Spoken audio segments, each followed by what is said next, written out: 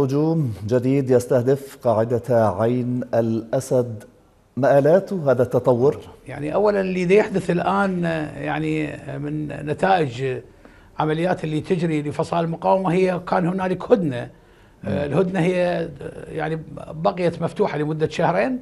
فصائل المقاومة أعطتها لغرض إنهاء تواجد قوات أجنبية على الأرض العراقية أو قوات قوات التحالف تحديدا.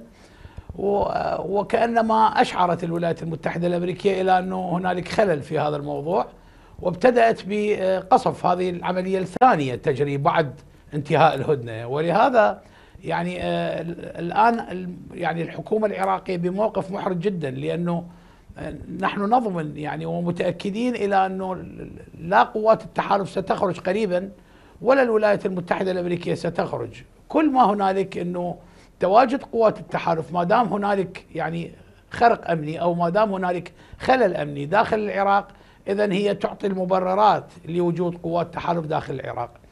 ولهذا كان هنالك تلميحات كثيرة من يعني عن طريق السفيرة الأمريكية إلى أنه داعش موجود على الأرض العراقية أو إلى أنه داعش احتمال أن يعود إلى المربع الأول. وخاصة إحنا نتكلم الآن بعد 72 ساعة من اعطاء العفو عن السجناء من قبل قوات قسد قوات سوريا الديمقراطية واللي هي سمحت لكثير من الدواعش بالخروج من المعسكرات وإحنا نتكلم على ست معسكرات قريبة من الحدود العراقية وهذا يعتبر يعني خطر كبير على العراق لأنه احتمال نسبة كبيرة منهم يتحركوا باتجاه العراقي.